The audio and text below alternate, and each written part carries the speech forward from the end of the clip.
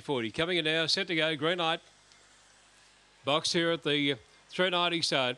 Favourite seven, hot favourite. They're ready and they're racing and going out very fast there. Betty Bowl at the outside, but pushing through on the inside. Catch you later. And Catch you later drove to the lead now. Led by a length and a half, Betty Bowl. Eight lengths away, then came Nimes Double Lower, followed after a gap then by Sky Show. Cruise Control uh, going to the outside. Cruise, uh, Cruise Control's well back in the running there. In company with Quick Blaze. Up the home running though. Catch you later's too good by about three. Betty Bowl second. Third, Nimes Double, followed by Quick Blaze. And at long intervals over the line here, Cruise Control and also Sky Show.